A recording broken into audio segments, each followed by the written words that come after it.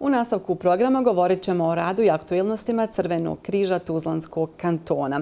U toku je javni poziv za prijave polaznika obuke za njegovatelje. Tim povodom razgovarat ćemo sa našom gošćom Tanjom Bjedić, koordinatoricom Crvenog križa Tuzlanskog kantona.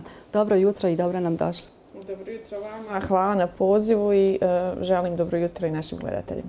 Kao što sam kazala, Crveni križ je organizator obrazovanja odrasli i objavio je javni poziv za sve zainteresovane polaznike. Tako je, Crveni križ Tuzlanskog kantona je organizator obrazovanja odraslih i u okviru svog djelokruga rada objavio je poziv za prijavu polaznika e, za obuku za njegovatelje. E, radi se o petomjesečnoj obuci u ukupnom trajanju od 500 sati, od čega je e, prvi dio obuke namjenjen teoretskom i praktičnom dijelu e, nastave e, u trajanju od 250 školskih sati. E, novost za taj dio obuke je da ćemo u skladu sa najnovijim tehnologijama i metodologijama rada jedan dio teoretskih predavanja posvijetiti online načinu predavanja. Znači, naše polaznice će imati priliku da putem online tehnologije ovaj, prate nastavu, e, dok će praktični dio biti e, u prostorijama Crvenog križa Tuzlanskog kantuna u našem centru za edukaciju.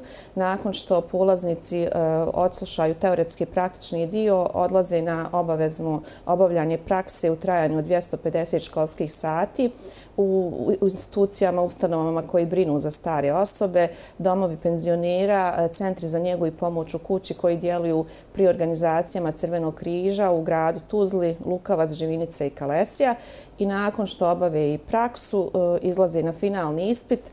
Naš finalni ispit se sastoji od teoretskog i praktičnog dijela. Ukoliko polaznik uspješno završi oba dijela, dobiva potvrdu certifikat o završenoj obuci za njegovatelje koji je odobren od Ministarstva obrazovanja Tuzlanskog kantona. Svakako trebamo spomenuti koji nastavno osoblje će raditi sa kandidatima. Mi u Crvenom križu Tuzlanskog kantona imamo zaista stručan predan, profesionalan, stručni tim koji predaje na e, našoj obuci za njegovatelje. Radi se o ljekaru i e, tri medicinske sestre, e, diplomirane medicinske sestre i psihologu, pedagogu koji su izuzetni profesionalci, imaju izuzetno e, životno, profesionalno iskustvo s obzirom da se radi o veoma e, e, zahtjevnom zadatku da se od naših polaznika osposobe njegovatelji. Oni kroz svakodnevni rad sa njima na jedan vrlo neposredan, stručan način i s obzirom da se radi o i odraslim osobama, a obrazovanje odraslih osoba također zahtjeva dodatne vještine i znanja, oni zaista na jedan sjajan, neposredan način ostvariju izuzetan kontakt sa našim polaznicima i mislim da je i to jedna posebna karakteristika naše obuke, jer ovo će biti 16. ciklus obuke koji mi realizujemo po ovom nastavnom planu i programu. Ono što e, sa sigurnošću garantujemo je da naše polaznici nakon e, što uspješno polože završne testove jesu izuzetno kvalitetni njegovatelji, ali s druge strane ono što ih dodatno krasi je upravo e, ljudskost, empatija, jedna međusobna povezanost jer nakon završene obuke naši polaznici postaju i ostaju prijatelji za cijeli život. Kazali ste da će polaznici dobiti certifikate. Kakvi su to dodatni benefiti za polaznike? Svi smo svjedoci da je potreba za njegovateljima ne samo na prostoru Tuzle, Tuzlanskog kantona i naše zemlje, već i širom Evrope, jako izražena. Mi smo svjesni te činjenice već e, prije nekih 15-20 godina e, započeli sa e, realizacijom različitih obuka za njegovatelje i ova, ova obuka je također prilagođena potrebama tržišta rada i naši njegovatelji sa ovom, ovim certifikatom imaju mogućnost da budu konkurentni na našem tržištu, da eventualno pronađu zaposlenje i e, u domovima e, penzionera koji radi na području Tuzlanskog kantona i u Bosni i Hercegovini, u centrima za njegu i pomoć u kući pri organizacijama Crvenog križa, ali e, naša iskustva sa polaznicima koji su, prethodne, koji su završili prethodne edukacije su takva da je veliki procenat naših završenih njegovatelja pronašao zaposlenje i van granica Bosne i Hercegovine. Naravno, taj certifikat zatim bude na neki način ulazna karta za neki novi početak života van granica Bosne i Hercegovine. Koje su to kvalitete koje osoba mora posjedovati pored ovih, kako smo kazali, obuka? Znamo jednostavno da se prije svega moraju da voli ljudi, da se pomaže ljudima.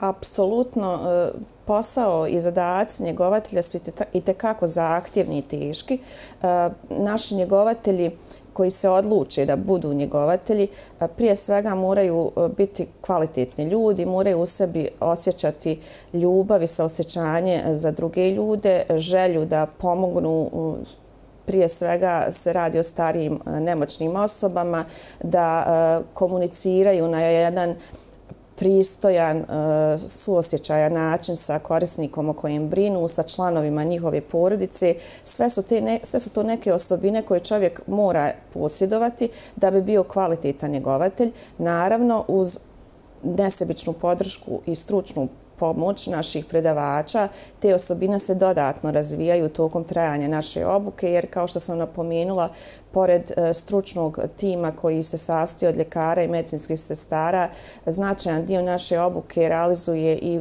pedagog, psiholog koji na e, veoma interesantan način približava sve e, važne teme i oblasti za komunikaciju, za upoznavanje svih karakteristika koje starost sa sobom nosi, tako da naše polaznici zaista razviju odličan osjećaj e, brige i njege za stare nemoćne lica. Kada prođu obuke ili radionice, možemo to kazati, da li ostaju u kontaktu sa korisnicima?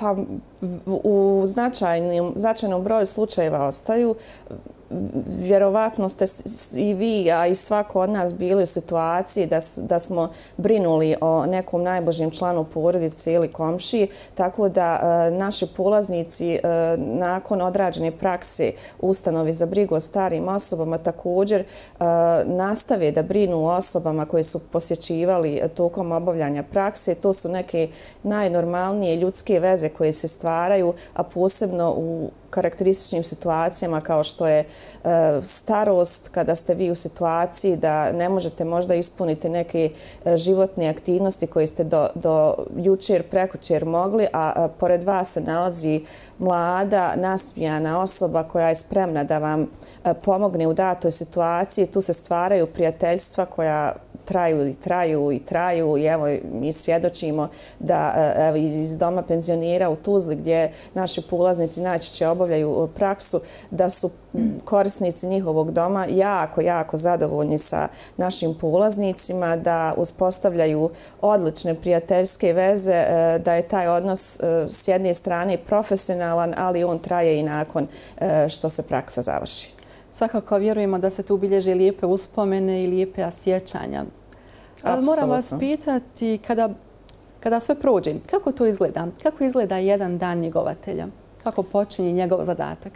Pa, evo ja bih istakla da e, zadaci posao njegovatelja se tiču e, pružanja usluge njege i brige oko staroj nemoćne osobe u smislu da su naši njegovatelji odgovorni za Eh, upravo ove usluge o kojima sam malo prije govorila, koji se ne tiču konkretno pružanja zdravstvenih e, usluga.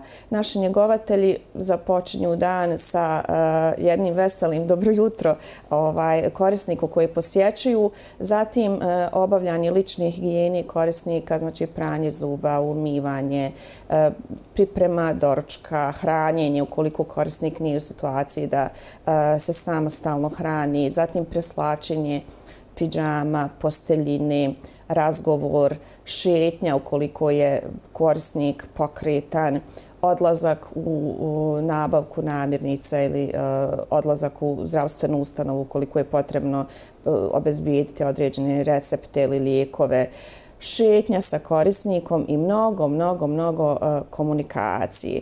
E, to su neke osnovne karakteristike zadatak, zadataka i posla, posla njegovatelja. E, to je jedan kako sam rekla na početku, vrlo zahtjevan posao, ali s druge strane jedan veoma plemenit posao.